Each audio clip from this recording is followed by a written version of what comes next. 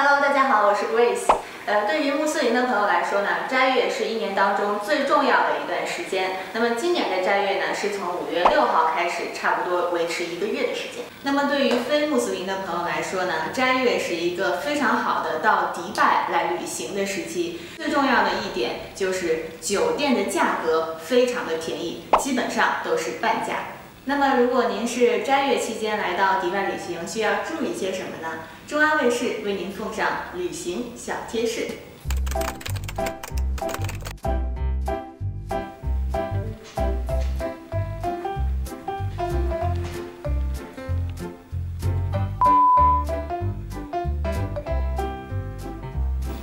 当然了，大家也不用过于担心，因为迪拜呢是一个非常多元包容的地方，很多的餐厅呢，他们在呃日常时间也是正常的营业的，而且呢，很多餐厅都提供了隐蔽的用餐区。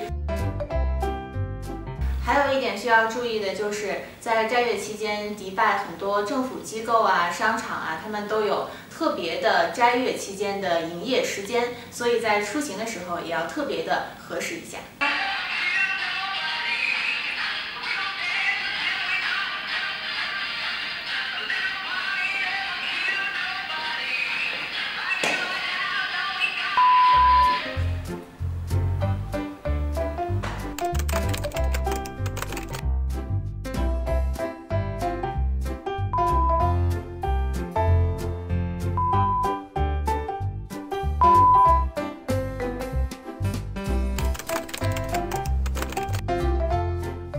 在斋月来迪拜旅行的游客可以获得千载难逢的文化体验。你可以向你周围的朋友使用一些斋月的特别问候语。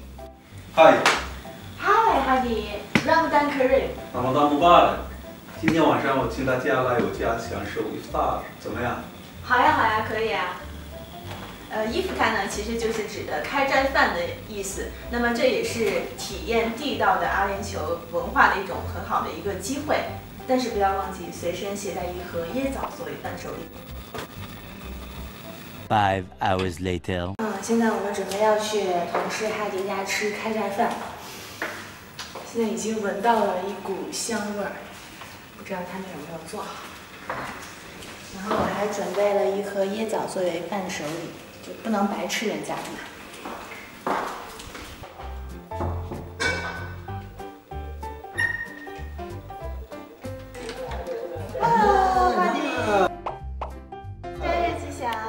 谢谢，这是送给你的。哇，谢谢，谢谢你，请进。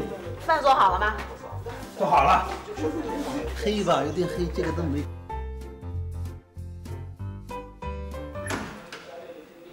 嗨，谢谢，谢谢，我们大木巴，谢谢你，进来。哇，哈迪，这些都是你自己准备的吗？啊，对，都是我自己准备的。这些都是什么菜呀？首先我们开斋的时候，首先要吃椰枣。哦。对，吃完了椰枣要喝汤。这是什么汤啊？这用羊肉还有呃一些水果做的。水果？对，不是水果，蔬菜。哦，OK。蔬菜做的。嗯。呃，在。这是什么呀？这个。这是摩洛哥的一个很有名的菜，叫大金摩洛哥。这个砂锅从摩洛哥带过来的。这是砂锅。大家看一下，摩洛哥砂锅。